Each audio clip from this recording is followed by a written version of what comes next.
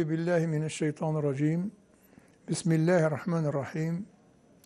الحمد لله تعالى والصلاة والسلام على رسول الله.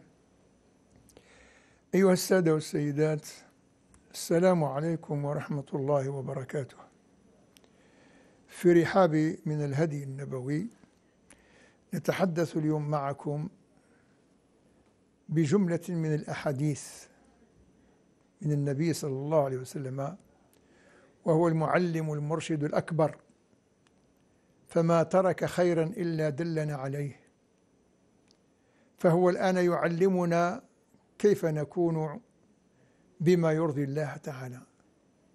فأرشدنا إلى خلق الرفق. فقال صلى الله عليه وسلم إن الله رفيق يحب الرفق ويعطي على ويعطي على الرفق ما لا يعطي على العنف وما لا يعطي على ما سواه. الحديث أخرجه مسلم. والرفق سبب لكل خير. قال صلى الله عليه وسلم من يحرم الرفق الرفق عفوا يحرم الخير. يعني الذي لم يتصف بالرفق مع الخلق في حياته وتعاملاته فإنه يحرم الخير كله. كما قال في حق ليلة القدر من حرمها فقد حرم الخير كله. يعني من فاتته ليلة القدر ولم يستغلها بالطاعات التي تقربه من الله تعالى فإنه يكون محروما شقيا. مطرود من رحمة الله تعالى. فلذلك قال من يحرم الرفق يحرم الخير كله. وقوله صلى الله عليه وسلم إن الله رفيق أي لطيف بعباده. يريد بهم اليسر ولا يريد ولا يريد بهم العسر. يريد الله بكم اليسر ولا يريد بكم العسر. حتى في التكاليف الشرعية في التكاليف الدينية ربنا سبحانه عز وجل رفع الحرج عنا. وما جعل عليكم في الدين من حرج. هذا هو الرفق. لو كلفنا بما لا نطيق واجتهدنا وبذلنا جهدا للفعل بما لا نطيق هل نصل؟ لا نصل. ويكون هناك حرج. يكون هناك مشقة. ويكون هناك نوع من التذمر. لا الله تعالى رفيق ولذلك لم يكلف عباده إلا بما يطيقون. لا يكلف الله نفسا إلا وسعها. فالله تعالى إذن لطيف بعباده يريد يريد بهم اليسر ولا يريد بهم العسر فلا يكلفهم فوق طاقتهم ويعطي كما قال النبي صلى الله عليه وسلم يعطي على الرفق. أي يثيب عليه يعني يعطي من الثواب والأجر على الرفق. تخلق بخلق الرفق لتنال هذا الفضل. كنت عنيفا في كلامك عنيفا في تعاملاتك لا تجد هذا الخير. تحرمه. ما فيش خير. ولذلك قال لطيف بعباده يريد بهم اليسر إلى آخره. فقال يعطي على الرفق أن يثيب عليه ما لا يثيب. يعطيك من الثواب أيها الإنسان الرفيق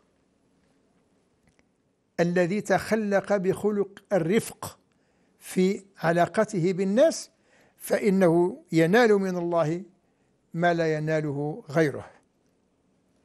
فيعطي عليه في الدنيا من الثناء الجميل ونيل المطالب وتسهيل المقاصد. إذن هنا في الدنيا عنده ثلاث ثمار ثلاث ثمرات.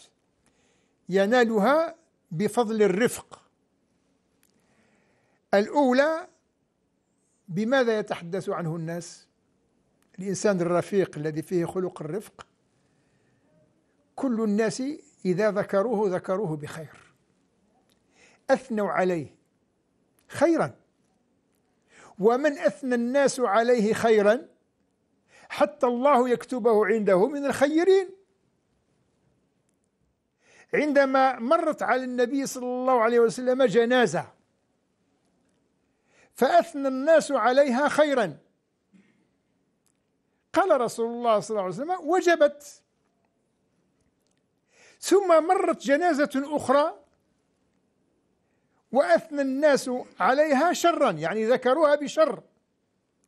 قال صلى الله عليه وسلم وجبت. سأله أحد الصحابة رضي الله تعالى عنهم جميعا يا رسول الله هذا أثنى الناس خيرا عليه؟ قلت وجبت. وهذا أثنى الناس عليه شرا؟ قلت وجبت. ما الذي وجب؟ قال أما الأول فقد ذكرتموه بخير. بما كان يتصف به من الرفق والخلق الحسن وبشاشة الوجه والكلمة الطيبة واستقبال الناس بوجه حسن وأن تستقبل أن تلقى أخاك بوجه طلق. فوجبت له الجنة. وكما جاء في الأثر ألسنة الخلق أقلام الحق. ما تشهدون به على أحدكم؟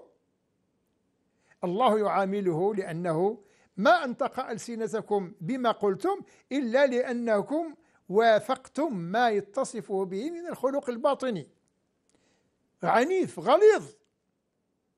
إذا لا ينال شيء عند الله. حليم رفيق. الله تعالى يعطيه على الرفق ما لا يعطيه على غيره. فلذلك الإنسان يجتهد في أن يكون رفيقا لينا. معناها لا يكون عنيفا. جاره مثلا نقول أخطأ في حقه.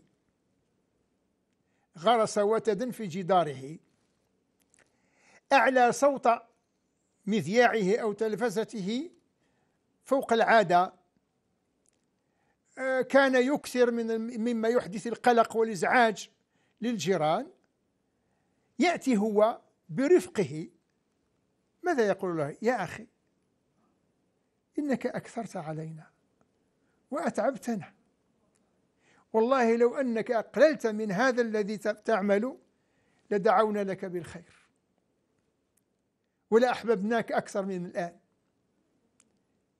هل تجد هذا العنيف يغلظ عليه في الكلام؟ أم تجده خجلا حيا؟ يطأطئ رأسه خجلا مما صدر منه. من أين جاء هذا الموقف؟ من الرفق. لو أنه قابله بالعنف بعنف الكلام وبعنف اليدين وبعنف يعني بالدفع الجسدي ماذا يكون؟ يكون رد الفعل من جنس العمل من جنس الدفع. يعني تضرب يضرب. تدفع يدفع. تصيح عليه يصيح عليك أكثر. في النهاية لم تكسب. في النهاية لم تنهي ما كان قد أزعجك. إذا الرفق مصدر كل خير. ولذلك سيدنا رسول الله صلى الله عليه وسلم أرشدنا إلى ضرورة التخلق بخلق, بخلق الرفق. فالله تعالى يرفق بعباده. يرفق بهم. يعني انظر عبد يخطئ ويكثر من الأخطاء ويفعل شيئا قبيحا عليه سيئات كثيرة. فيأتي الملائكة عليهم الصلاة والسلام وهم لا يعلمون الغيب كما الله تعالى يعلم الغيب. فيصفون هذا الإنسان بأقبح الصفات وأبشعها. فيرد الله عليهم أمهلوا أمهلوا عبدي. دعوني وأبدي. أمهلوه انتظروه. لعل الله تعالى يفتح بصيرته في لحظة من لحظات الزمن فين ويفطن ويستيقظ ويحاسب نفسه ويعود إلى رشده وينصلح حاله. أيهما أفضل؟ لو لو عامله بعنف مقابل العنف لخسر في الدنيا والآخرة. ولكن الله تعالى أمهله رفقا به انتظره رفقا به حتى تمكن من أن يدرك خطأه ويبادر إلى التوبة والاستغفار فيغفر الله له. إذا انظروا إلى الرفق أثمر الهداية أثمر صلاح الحال وأثمر الجنة والرضوان. نسأل الله تعالى أن يرزقنا خلق الرفق في كل تعاملاتنا وفي خلق الرفق في تجاراتنا في جوارنا في دراستنا في كل أعمال نقولها لأن الله تعالى يحب الرفق في كل شيء كما قال النبي صلى الله عليه وسلم إنه ولي ذلك والقادر عليه وأصلي وأسلم على سيدنا محمد. والسلام عليكم ورحمة الله وبركاته.